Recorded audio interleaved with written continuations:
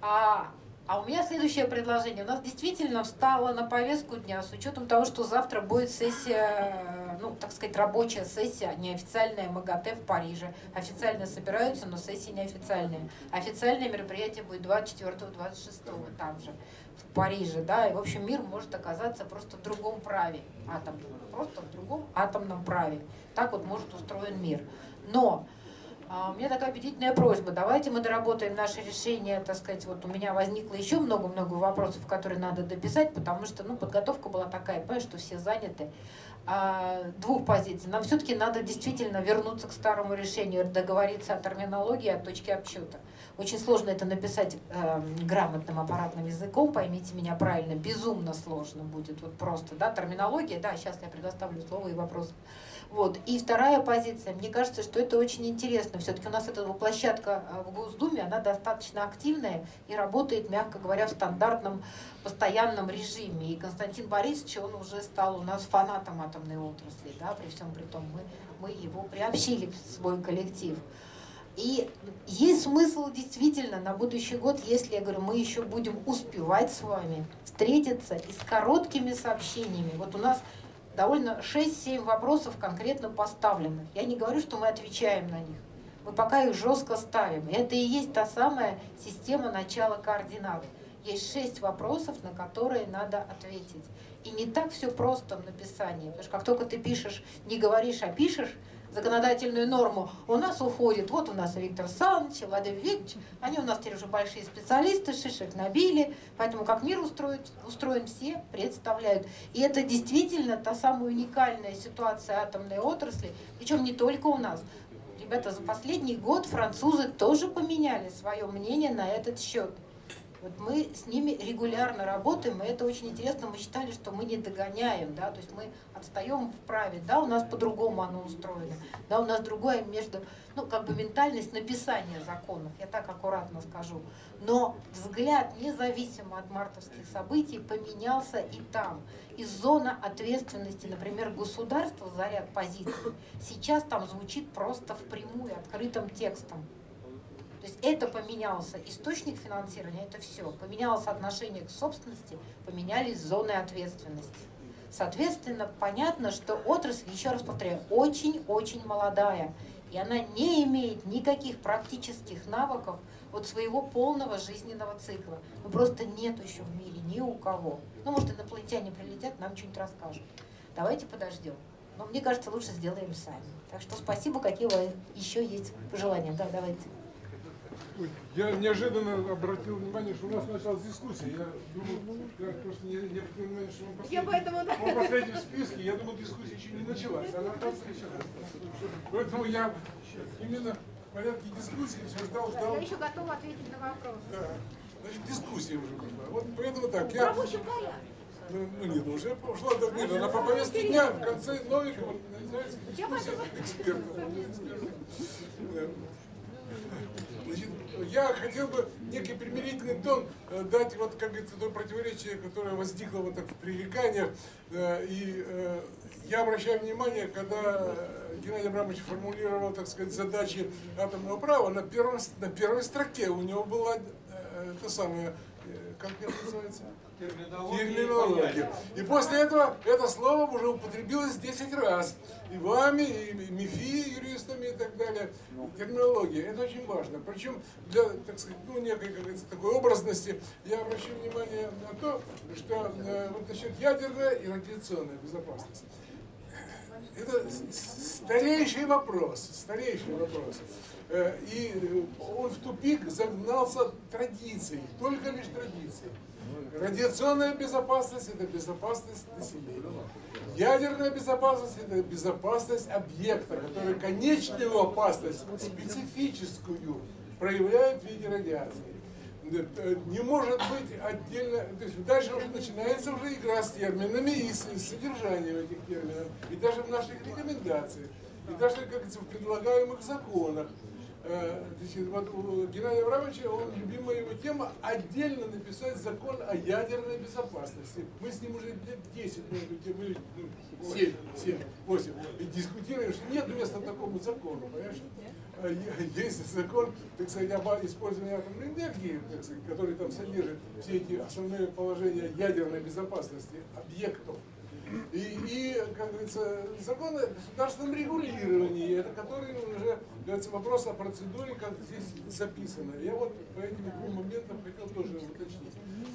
Если вот принять, что закон о радиационной безопасности, это закон э, безопасности, ну вообще цель, это безопасность населения, радиационная, от радиации, то я обращу внимание на то, что сам закон о радиационной безопасности как закон федеральный, возник только в пылу э, попытки похоронить ядерное, э, ядерную промышленность. Вообще, использование атомной энергии похоронить, чтобы, его, чтобы оно не возникло. В качестве двух инструментов похоронить атомную промышленность было два инструмента выбрано. Отдельный от закона о атомной, об использовании атомной энергии, закон о радиационной безопасности, там подсунуть такое, чтобы не было возможности использовать атомную энергию. И второе, закон об, об отходах, радиоактивных отходах. Это был цель того закона, который шло тогда, только для того, чтобы, как говорится, атомную деятельность невозможно было осуществить. Так была структура того закона формировалась. Единственное, мое, моя персональная, моя заслуга в то время, в, том положении, которое мне было, так сказать, доверено, я добился того, чтобы эти все три закона, чтобы вытащить из тупика, принимались в пакете. Это позволило, позволило принять закон об использовании атомной энергии, закон о радиационной безопасности и отложило на бесконечное гниение этот взрывной э, самый заряд э, закона о радиационных отходах. Он до сих пор не идет. До сих пор идет. Так сказать, но он тогда был вытащен из, из пакета э, разрушить саму. Но остался не вытащен. Э, закон о радиационной безопасности. Я тогда был уверен и сейчас уверен, закон о радиационной безопасности самостоятельного права в законодательном, в атомном праве не имеет. Это искусственно созданный закон, который, как говорится, полностью повторил структуру закона об атомной энергии и включил туда несвойственные вообще закону предельные цифры по нормам которому место совсем других нормативных в Национальной комиссии. И, и, сегодня он не имеет, но сегодня сломать вот это расчленение, вот есть тот закон, есть этот закон, вот попробуйте сломать. И это же является причиной того, что очень трудно разорвать вот эту связку. Вместо того, чтобы безопасность ядерного объекта или безопасность, так сказать, ядерная безопасность нуклеар, вот так в переводе с английского, у нас тянется десятилетие вот эта пара, ядерная и радиационная. И дальше, как говорится, появляется э, НТЦ. НТЦ ядерный и радиационный. Он же не может изменить э, свои полномочия, конечно. У него два слова присутствуют. И они, хочешь не хочешь, они поборники сохранения этой пары. Вот, вот проблема. То есть я возвращаюсь к вопросу, что урегулировать норму, но ну, удастся ли так, не норма, э, терминология, но удастся ли ее так отрегулировать, обсуждаем, чтобы даже вот это противоречие и несуразность, как говорится, присутствие двух понятий в одной связке убрать. Я не знаю, удастся ли. Тоже вопрос. Теперь относительно уже просто конкретно вот итогов по рекомендациям. Э, там, э, значит, вот тоже из-за того, что обращение связи радиоактивными отходами, э, вот так идет, я не против того, чтобы оно стояло первым пунктом. Но оно уже первым пунктом стоит 10 лет, как говорится. Хорошо, пусть стоит первым пунктом и сейчас в наших рекомендациях. Э, Но в первом пункте это, конечно, должна быть, как говорится, ну, скорее всего, концепция.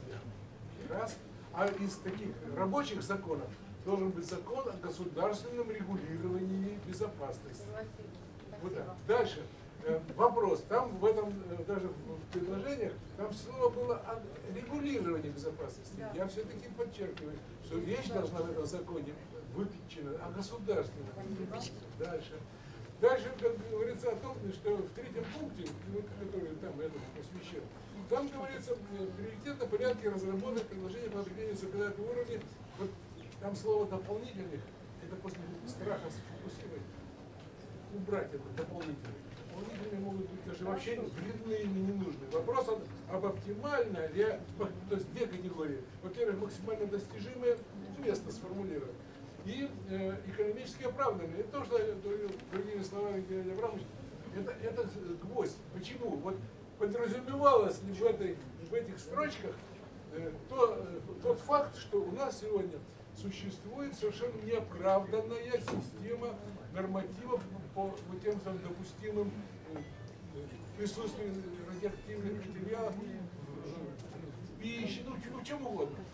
Сегодня мы после Чернобыля загнали наши нормативные э, типа, цифровые показатели на, на уровень, когда э, отторжа- отторгались эти самые миллионы людей, попадали в эти в изгои, как говорится. Зато это максимальная безопасность.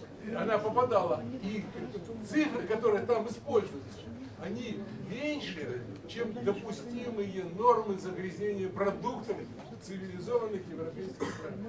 Вот до чего мы дошли. Вот, если об этом речь идет, то вот это надо, об этом дал- давно, я не буду слово говорить, постоянно твердят ребята из, э, из из. Нужно, нужно гармонизировать это, если нам удастся это красиво сделать. Это, серьезный вопрос. Если это имеется в виду в этих первых трех строчках, об этом идет речь. А во втором, когда речь уже идет о государственном регулировании, то меня коробит э, слово процедурное. Для понимания раздела задач и определения ясности, о чем речь идет.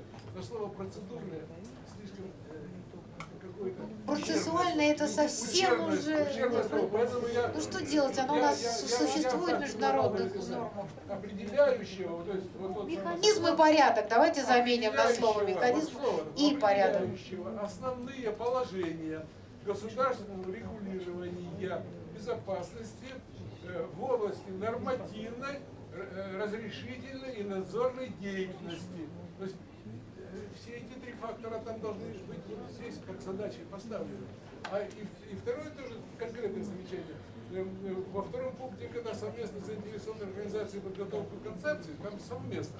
А вот тут уже надо совместно с заинтересованными организациями ведомств. Тут Хорошо, без не. Спасибо вам большое. Так, коллеги, у кого еще есть какие предложения? Здесь, извиняюсь, здесь все-таки следует уточнить, вы, вы читали название закона, как он здесь тоже декларировался и произносился о государственном регулировании безопасности. Без- Слово, О, слово о, безопасности. Я, я опять э, Да. Валерию, Валерию возражу. возражу. Он, э, он, он все время, мы тоже с ним спорим, он говорит э, о, о м, ядерной и радиационной. Вот ему тоже посвящен. Погорели мы в Чернобыле только потому, что разделяли. Есть безопасность, включающая в себя все виды все безопасности. опасности. Все. И только нужно говорить о безопасности. А уж дальше мучиться, каким органам давать на согласование нормы, каким ну, и так далее, и какая э, череда этих органов присутствует в этом процессе государственного регулирования. Определить э, ну, иерархию этих органов. Но, но Согласились, спасибо большое. быть Только одна, единая Только для всех объектов и в а не едином ядерная измерении. радиация. Ядерная и ра- Коллеги, коллеги, у нас регламент. Все договорились. Спасибо вам большое. Особенность, радиационная особенность этой безопасности. Особенность. А регулирование Секундочку, Здесь есть еще э, такое дополнение относительно вот ядерный произносится, безрадиационный. Это просто традиционно два слова. Ядерный Ну вот вопрос. Это, секундочку, это, наверное, заблуждение. Объекты бывают разные. Есть с ядерными ядерный материал, а есть вообще только радио, э, радиоактивные вещества. Ну, хранение. Допустим, радиоактивное, какая там ядерная безопасность? Коллеги, Это- я с вами абсолютно это- согласна. Вот сейчас, когда вы все, все вместе очень про- пламенно, эмоционально выступаете, услышьте меня, пожалуйста. У нас действительно очень много вопросов к терминологии. Да. Да, и то, что мы с вами привыкли как профессионалы использовать внутри, это одна конструкция, и тут мы можем спорить там, до, до любого состояния. Но у нас есть вторая проблема. то, что мы говорим публично, представляем за пределами нашего профессионального сообщества, приобретает часто совершенно другую окраску. И вот это то, э, та позиция, которую нам точно надо отработать. И как стихи в детстве выучить. Нельзя путать определенные виды терминологии вовне. Это может нам очень, очень дорого стоить. Да, причем именно чисто вот человеческий фактор. Поэтому носите предложение. Еще учесть такой вот относительно опять безопасности вообще и ядерной радиационной безопасности в частности. Дело в том, что по безопасности вообще существует масса законов. Если мы вдруг начнем в законе о государственной, э, государственной безопасности, использовании атомной энергии, писать новые какие-то, так сказать, нормы У нас в этом и проблема возникла что у нас сегодня с вами есть семь законов по видам безопасности. И у нас надзорные органы, так как нас, слава богу, покинули, а, приходят по каждому закону отдельно. Нет, ну я по-хорошему говорю, они это прекрасно понимают. И мы сейчас работаем на уровне действительно взаимопонимания, что приходит один инспектор, проверяет по, по всем законам. Но у нас есть другая проблема, с которой мы столкнулись именно вовне. И меня вот девушки, мои коллеги все понимают. Когда редактировали закон, который здесь все мы говорим, как наше достижение, это правда, о надзоре и контроле, он же называется о контроле в скобочках надзоре, что в терминологии атомной отрасли вообще неприменимо. Да? А нас пытались отправить ровно на этот же круг, что мы такие же, как все. Ура, коллеги! Вот с этим я вас всех искренне поздравляю. Мы такие же, как все. Но с точки зрения надзора и контроля эта норма неприменима. Просто потому что мы действительно другие. И порядок работы на нашем объекте контролеров и, так сказать, надзирающих структур тоже другой. Они за это за что-то отвечают. И, понимаете, и вот этот клубок опять свалялся. За слова, что мы другие. Мы другие потому, что у нас есть ядерная радиационная безопасность. Только поэтому. И это нужно поднять как флаг. А правильно, правильно. Еще раз. А вот теперь услышьте меня, пожалуйста. Я еще раз повторяю свою терминологию. Мы другие и ничего другого. Да, и никаких других эпитетов, метафор и прочих усилений ситуации быть не может. Понимаете? Да, хорошо, да, у нас присутствует еще один вид безопасности. Нет. Специфический. Нет. Коллеги, коллеги, мне потом расскажете, давайте мы сейчас завершим, чтобы коллеги все в таком уже приподнятом настроении, вот услышите меня теперь, то, что я услышала от вас только что. И искренне в этом хочу теперь разобраться с точки зрения терминологии. У нас есть ядерная и радиационная безопасность. То, с чего я начинала выступление и говорила, одно это техническая компонента внутри, а радиационная это отклик снаружи. Да? Так аккуратненько пыталась прокинуть эту идею. А есть другая безопасность, о которой вы сейчас назвали, ядерная-радиационная. Понимаете? Вот мы начинали пять лет назад, когда писали ядерно-радиационное. И это может быть и есть тот вид действительно безопасности, который объясняет нашу особенность, на что мы другой объект. И тогда туда мы с вами раз... Так вот, если мы сейчас терминологию в документах правильно напишем, да, а нам, ну, так сказать, сильные миры сего юристы говорят, ребят, ну вы про себя сами напишите, мы вас править не будем. Только это уже будет ваше техническое решение. Запятые мы поставим. Но суть вы должны написать про себя сами. И вам потом это отстаивает, да, эту позицию во всех.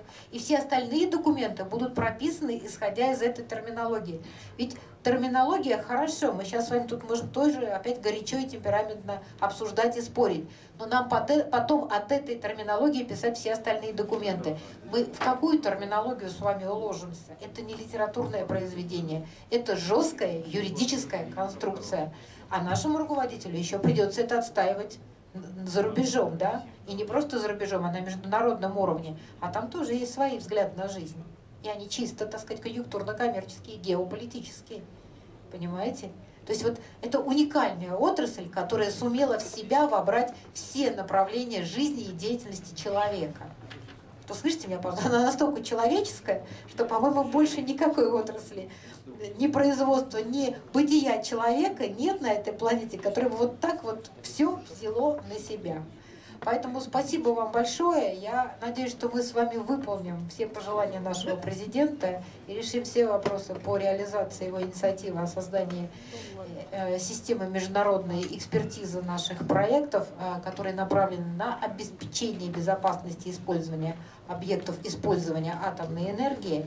А в своей работе мы сможем, э, реализовывая эти так сказать, поручения, создать хорошую, так сказать, наверное, все-таки лучшую, как всегда в мире, систему а, ядерной энергетики или атомного права, ну, в соответствии с нашей терминологией. Поэтому очень признательна вам за работу, за активную позицию. Самое главное, я очень жду, ну, давайте договоримся с учетом праздника в течение двух недель добавления в наше решение, потому что оно точно требует доработки, мы это понимали мы очень много позиций с девушками исключили, с коллегами, потому что, ну, в моем понимании, на вечер, да, распечатки, они были очень эмоциональные.